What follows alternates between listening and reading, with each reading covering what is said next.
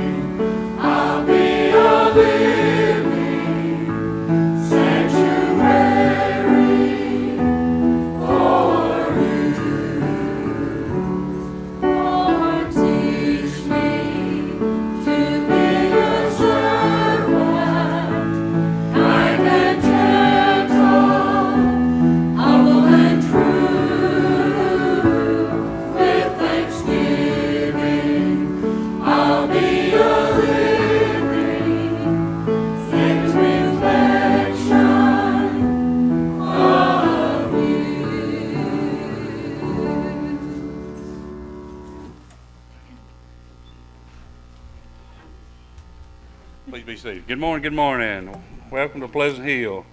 Uh, Brother Kenny and several of the men have gone fishing. Let's hope they can stop and find their way back home. If it was women, they would stop and ask. Men don't, so they may be over in Georgia somewhere. But anyway, uh, this morning we'd like to welcome you to Pleasant Hill.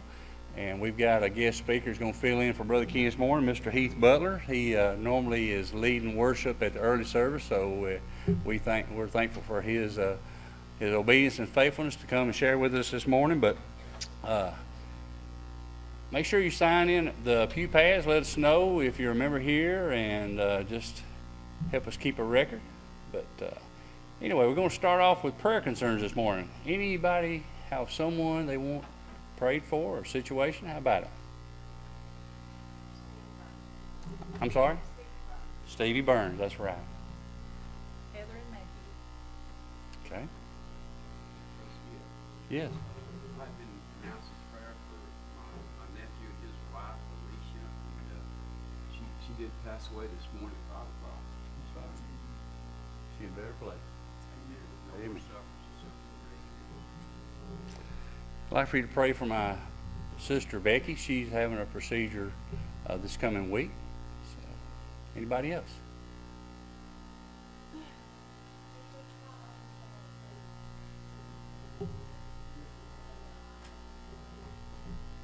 That's right.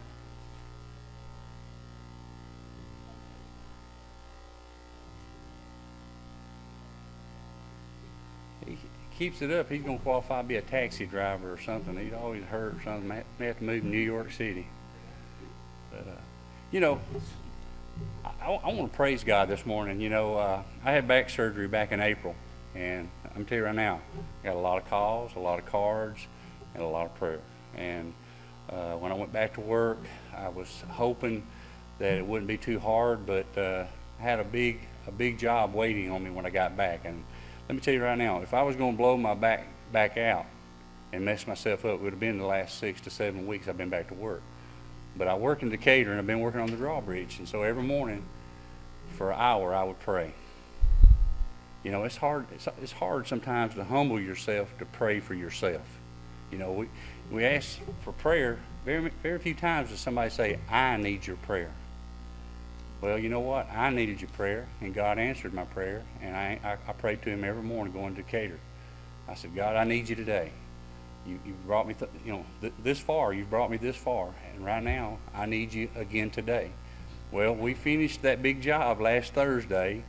My back is held up. You know what? I mean, I had a fine doctor, but I really believe God guided His hand when He did my surgery. God is the one that's healed my back, and God is the one that has, has kept me where I'm at right now. So I praise God. And I'm thankful for that doctor, but I know I was in the hands of God, and I appreciate your prayer. So anybody got anything else they want to share? Skip, uh, Gail Milligan is going to have eye surgery in Franklin, Tennessee on October 22nd. Uh, 23rd surgery, but she's got to be there on the 22nd for pre-op. And she needs somebody, someone to drive. She's got the vehicle, and so, and she won't be able to drive. So if any of you can see yourselves uh, being able to do this, I'm, su- she will certainly appreciate it very much. It's in Franklin, Tennessee. Okay. All right, nothing else. How about stand with me and we'll go to God in prayer this morning? Oh, I'm sorry. Anybody else have an unspoken besides Rosemary? I do as well. Pray with me, would you? I just want to thank the Lord for the boys that were in the wreck, that they wasn't hurt any worse than what they were. That's right. You know, some people say the age of miracles is gone, Yeah. but God still works. That's right. Our God still does miracles. The same power that came through the Holy Spirit in the day of Pentecost, we still have that Holy Spirit today. So just pray with me, and we'll pray in the Holy Spirit. Our Heavenly Father, we just come to you this morning. Lord, we humble ourselves before your throne. And Lord, may we have a heart of thanksgiving because you bless us each and every day. And Lord, we should be as excited about the blessings each and every day as we are about life itself. And so this morning we come to you and we just, uh, we honor you and we worship you because you're so giving. You have forgiven us, you have covered us with grace, and you give us your love each and every day. And let us never take it for granted. And this morning, Lord, there have been some prayer concerns lifted, and Lord, we lift those to you and we lay them at the altar. And we, in faith, we ask for your will to be done, not our will, but yours. We do not ask because you can, we ask because we know that you will. And so this morning, I lift a, a group of men that represent this church, that the body of Christ here is missing a few because uh, they are they're they're in spirit. Lord, they're they're uh, they're being the body of Christ to one another. They're being brothers in Christ, and I hope that you bless them. But we ask for tra- safe travel for them to return here to us. And so this morning, Lord, we just ask you to forgive us. We know that we fail you each and every day. We know that your grace and your mercy is sufficient. And Lord, no matter how many times we fail you, you're always there. And so we come to you now. We ask that you continue to bless this place called Pleasant Hill. May your hand be upon it. May we be a biblical church. May we stand upon the word, the truth. And Lord, may the Spirit guide us. And so this morning we give thanks for all these things and we lift this prayer to you in the name of our Savior Jesus Christ. Amen. Sing with us.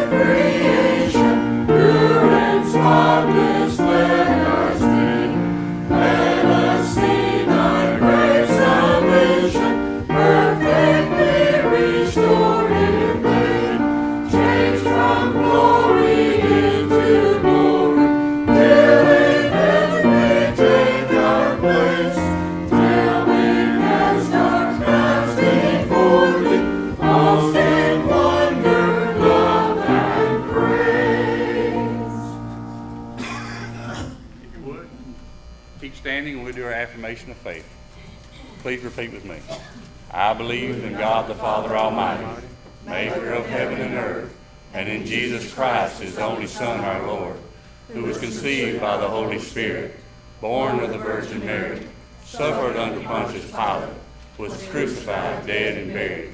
The third day he rose from the dead. He ascended into heaven, and sitteth at the right hand of God the Father Almighty. From thence he shall come to judge the quick and the dead. I believe in the Holy Spirit, the holy Catholic Church, the communion of saints, the forgiveness of sins, the resurrection of the body, and the life everlasting. Amen. Please be seated.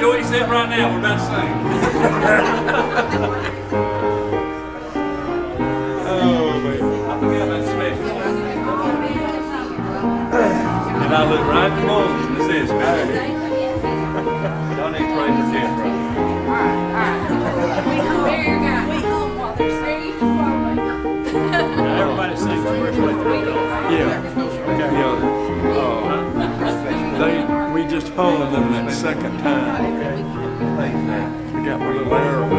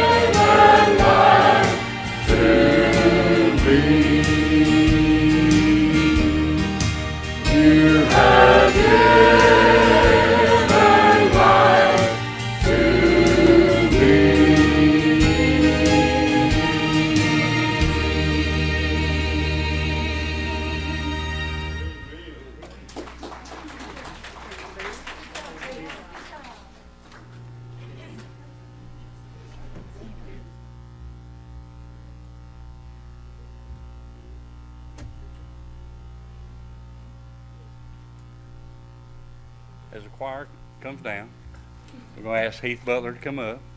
Uh, I don't even know where Heath's originally from. He's a foreigner. He's from the other side of the river, I believe. But uh, Heath has been uh, very dedicated to the early service. He uh, is very gifted as a musician. Sings pretty good. but he's got a beautiful family. And, uh, you know, I'm as guilty as anybody of not uh, really extending my, my hand out and saying, you know, Heath, tell me a little bit about yourself.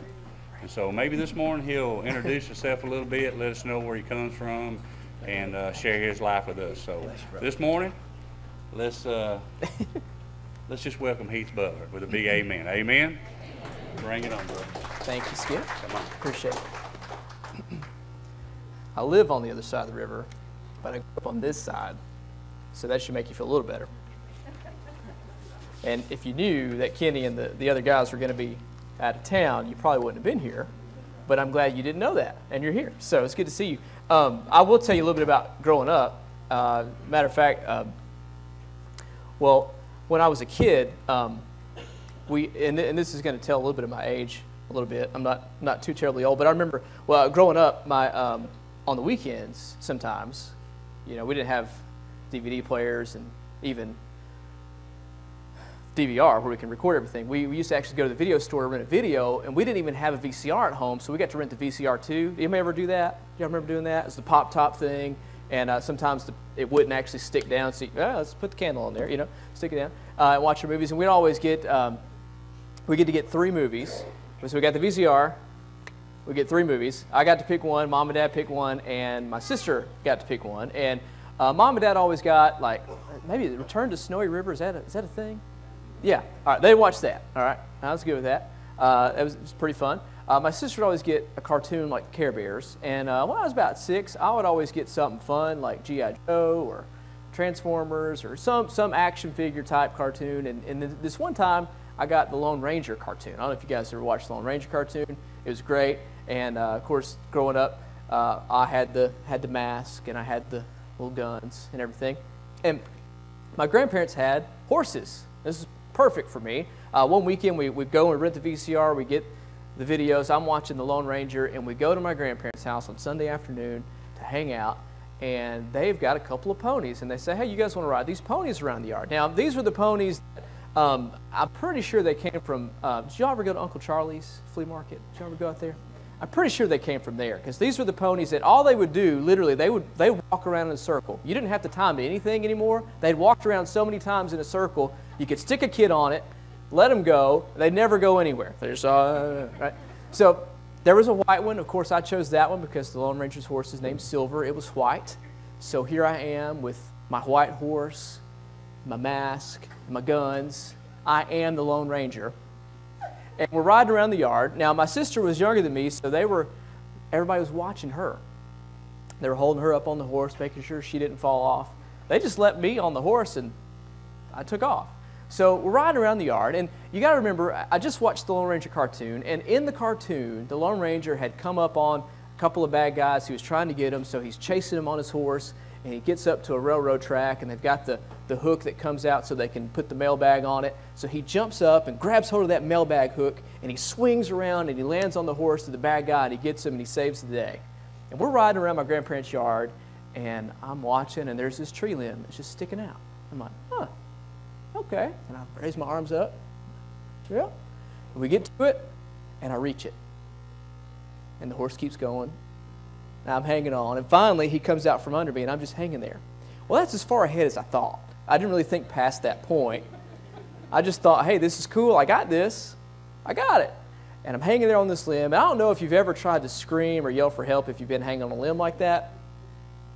You can't really do it. It's like, help. It just, uh, you just can't, you can't get enough breath to, to make it. So I'm hanging there. I'm like, what am I going to do? And I don't know about you, but you've probably had those moments in your life too where you have said, I got this. Now, your moment may have actually started out with you saying, Hey, y'all, watch this. It's the same thing, okay? I got this. I, I'm in control here. I know what's going on. Uh, this is going to be good because I said it's going to be good. And we end up out on a limb needing some help. And, and that's what I want to talk to you about today. Um, we, we've all had those I got this moments. And We're going all the way back to Genesis this morning, so if you have your Bibles, we'll turn to Genesis chapter 2. Uh, I think this is one of the biggest deceptions that we face, and we, it's nothing new. We faced it for a long time. Uh, as a matter of fact, it's something that came up in the Garden of Eden. This, this deception that we are in control and we should be in control. Genesis chapter 2, verses 16 and 17 uh, says this And the Lord God commanded the man, You're free to eat from any tree in the garden, but you must not eat from the tree of the knowledge of good and evil, for when you eat of it, you will surely die. Now, God has already, He's created the heavens and the earth. He's just created Adam. He hadn't created Eve yet. He's just created Adam, and He's put him in this garden. He goes, Here you go. You got this. Just don't eat of that tree. All right? Everything else, you're good. Everything's perfect. We're all good here. You just don't eat it from that, and we're all okay, right? Fast forward to chapter 3, and it says this in verse 1 Now the serpent was more crafty than any of the wild animals the Lord God had made. He said to the woman, Did God really say, You must not eat from any tree in the garden? And the woman said to the serpent, We may eat fruit from the trees in the garden, but God did say, You must not eat fruit from the tree that is in the middle of the garden, and you must not touch it, or you will die. You will surely not die, the serpent said to the woman. For God knows that when you eat of it, your eyes will be opened and you will be like God, knowing good and evil. The devil was basically saying to, to, Adam and Eve, hey, you do what you want. You can be in control and that'll be good. You know, the Bible tells us that just what we read in Genesis, there's a way that seems right to man, but in the end that leads to death. God said, Don't eat this of this tree or you will surely die and we did it anyway. And of course, that created death for everyone because uh, through that, sin entered into our world. The lie that we can be in control um, really makes it hard for us. It says that it's the best place for us to be, that we know best about how we're going to control our own life, that we make our own choices, that we direct our, our lives, and my decisions are good. And that lie has been around since then. Proverbs 14:12 says this, there's a way that seems right to a man, but in the end it leads to death our, our selfish pride of hanging on to our power, our control, leads to death spiritually. Sometimes physically, but, but spiritually it leads to death. Um, God has given us instructions for how to live. And He's told us, rely on me, but we still choose not to. Uh, so that's the problem this morning that we all face. We all have those moments where we say, I've got this. It's all going to be good. But in the end, it only ends up leading to death. Um, so, what do we do about that problem? Because that's been a problem that's been around for a long time. It's a problem that you and I face every day. Um, as believers, we face it. Um, you know, even as unbelievers, before you come to, to knowledge of Christ, you face that because the way that you've always lived leads to death, but following Christ is what leads to life. And so, uh, as we are, even as we are Christians, we face this same choice every day. And so, let's read what Paul says in Galatians chapter 5. Um, this theme of life and death and living by the Spirit, Paul actually talks about in Galatians and uh, Ephesians and Colossians. It, it's woven throughout, and really even, Philippians to some extent, it's woven throughout those four books. And this is what he says about it. Verses uh, 16 through, through 25 and, in chapter 5 of Galatians says, So I say, live by the Spirit, and you will not gratify the desires of the sinful nature. For the sinful nature desires contrary to the Spirit and the Spirit what is contrary to the sinful nature. They're in conflict with each other, so that you do not do what you want. But if you're led by the Spirit, you're not under the law. He goes on to talk about what acts of the sinful nature look like. He says they're obvious it's sexual immorality, impurity, debauchery, idolatry, witchcraft, hatred, discord, jealousy, fits of rage. He goes on and on and on and on and on. And he says, like I told you, if you live by this, it leads to death. In verse 22, he contrasts that and says, But this is what the fruit of the Spirit are. He says the fruit of the Spirit is love, it's joy, it's peace, it's patience, it's kindness, it's goodness, it's faithfulness, it's gentleness, self control. Against such things there is no law. Says, Those who belong to Christ Jesus have crucified the sinful nature with its passions and desires. Since we live by the Spirit, let's keep in with the Spirit. When you come to know Christ, this miracle happens in your life. The Bible tells us that when you surrender and put your, your faith in Christ, that the Holy Spirit lives inside of you. That we are given Christ's own spirit in us. Now, the problem is, and, and uh, Kenny's dad actually talked about this a couple months ago when he was here. The problem is that old man is still there too. and those two things are at constant conflict with each other. They're always fighting to get control and to be in control of our lives. And the Spirit gives us life. But that old man and its ways lead to death. Um, if we just compared those two things, the list from uh, what the old man gives us and what the Spirit gives us, we would all say, well, obviously, love and joy and peace and patience, all those things are way better than what we had. It's obvious, but why do we continue to choose the old way? His, his word tells us that because we are in Christ, that old life with its passions and desires should have been crucified with Christ, and we should live by the Spirit to keep us in step with the Spirit. Now, when we talk about the Spirit um, leading us and, and, and guiding our lives, you know, the, the Word says that the Spirit reminds us of all the truth that Christ has taught us. So, when we need to know what that truth is, it reminds us. His Spirit leads us and tells us this is what you're supposed to do.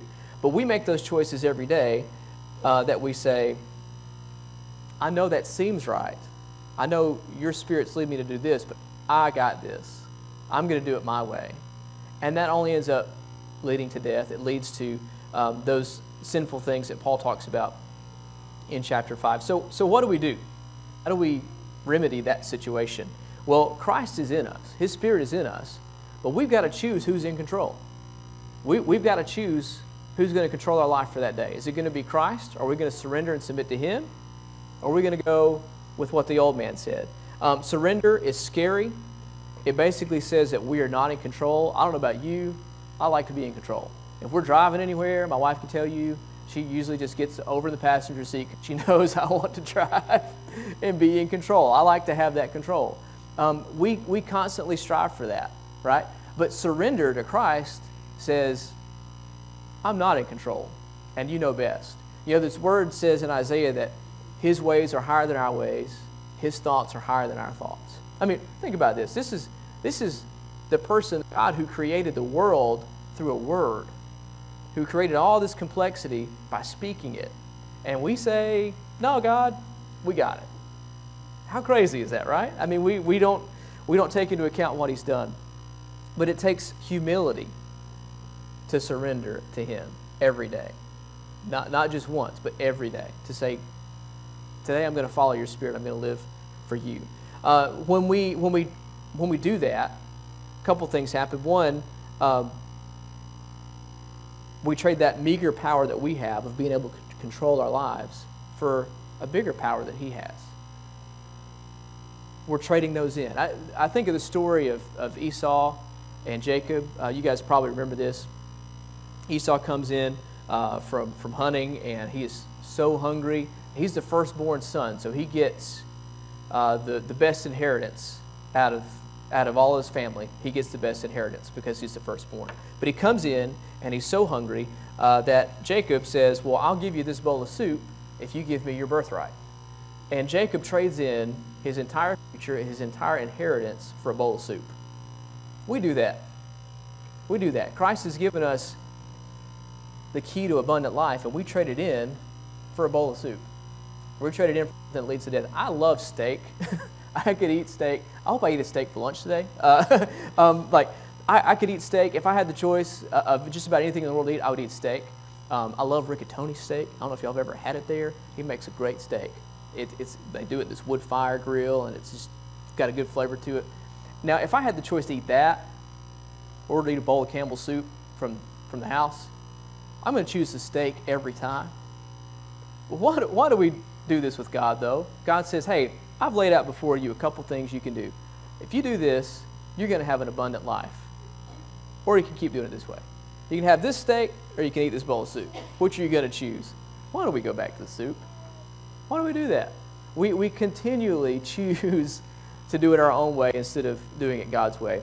Um, his weakness is infinitely more than our strength. He tells us in His Word that he uses the foolish things of this world to confound the wise. Um, that, that he doesn't do things like we do. As a matter of fact, he does things a lot of times the opposite of what we would do. Uh, a great theologian once said, if my natural instinct is always wrong, then surely the opposite must be right.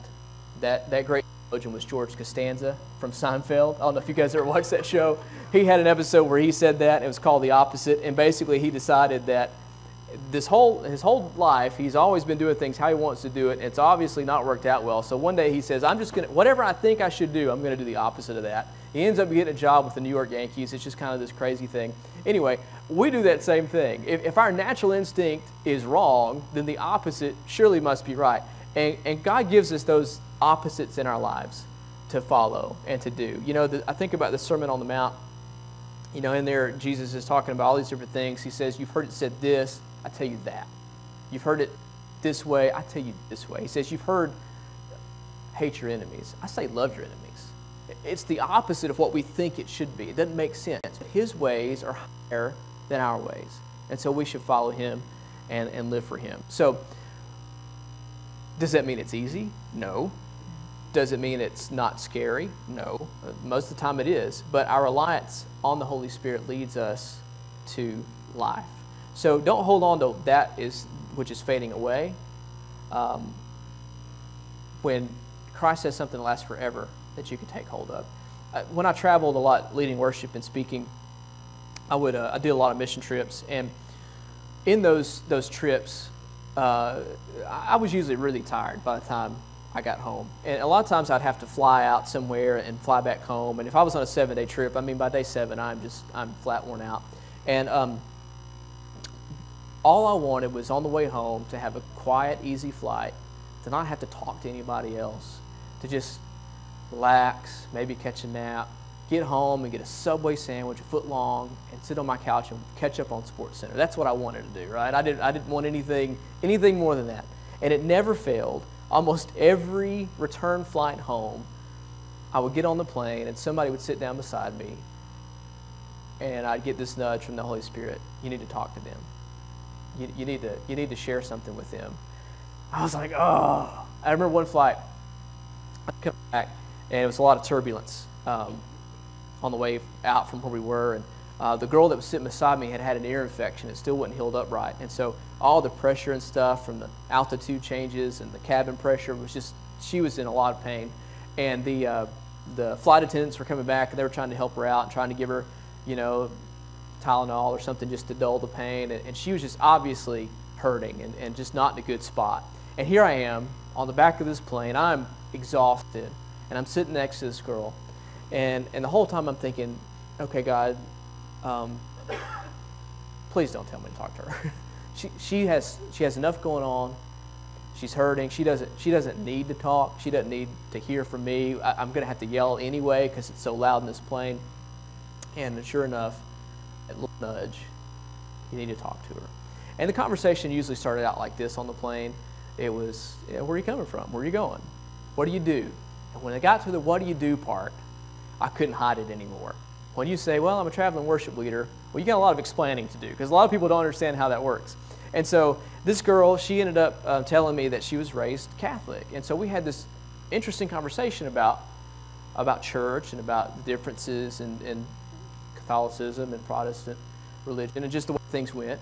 And, and we started talking about the Word, and she started asking questions like, well, what does the Bible say about this or that? And I was like, well, you know, you can, you can read it for yourself. Do you have a Bible? And, and she's like, no, I don't, you know, uh, but, you know, I, well, I've got one at home. It's an old one that I got when I was a baby. Uh, you know, it's just the New Testament. I've got that, but I don't have a Bible that I read. You know, she's like, how do I know what the what the pastor, or the preacher, or the priest is telling me is true. I was like, well, you just test it against the word. You read it. You, you find out if what he's saying matches up with the scripture. You don't have to have somebody read it to you. You can do it yourself, you know. And so I say, well, when you get home, you should, you know, you should pick one up. Go to a store and pick up a Bible and read that. And try, to start in John. And just check, check it out there, you know. And so I thought, okay, good. I've done my deal. That's the end of that. And so we get quiet again, and then I get this other nudge. Give her your Bible man, I just got this Bible. I, uh, you know, like I've, it's got the cool cover and it's, it's, it's thin and I, you know, like when I'm traveling, it's easy to put in my backpack and it's got all my notes in it and I, oh, you know, I try to put it off and give her your Bible. So I, I go, hey, if I, um, if you had a Bible, would you read it? She's like, yeah. I was like, okay, I'm going to give you mine so you don't have to go buy one. And so I reached down, I got my Bible out, and it, I could tell it made a huge impact on her life. I don't know what happened to her after that. I don't know if she read it or not, but she was cer- certainly thankful that she had it. And I had peace, which is a fruit of the Spirit, because I did what God led me to do. I followed Him instead of following my own way.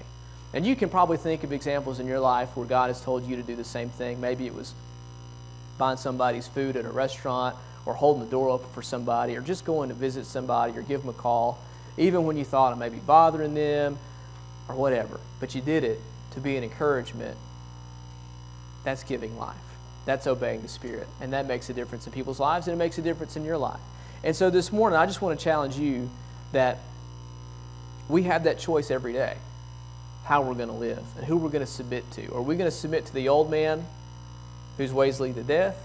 Or are we going to submit to the Spirit and how He leads us into life? Which are we going to choose this morning? Um, I don't know where you are in your life. I don't know what all you have going on. Uh, I know that this is a lot of times easier said than done uh, to live by the Spirit. But I just want to challenge you this morning to do that.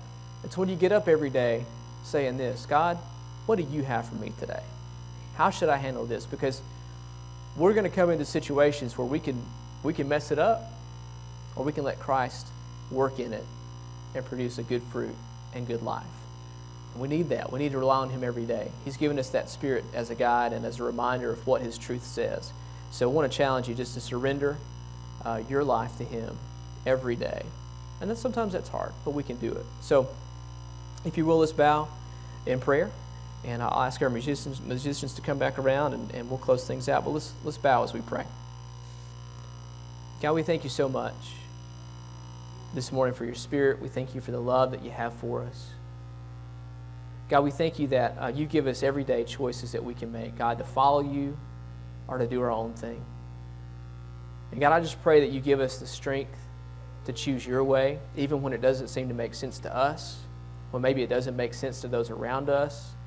God, even when we face opposition in doing that, God, I just pray that you give us the, the strength and the courage, God, to follow through on what we know your word tells us to do.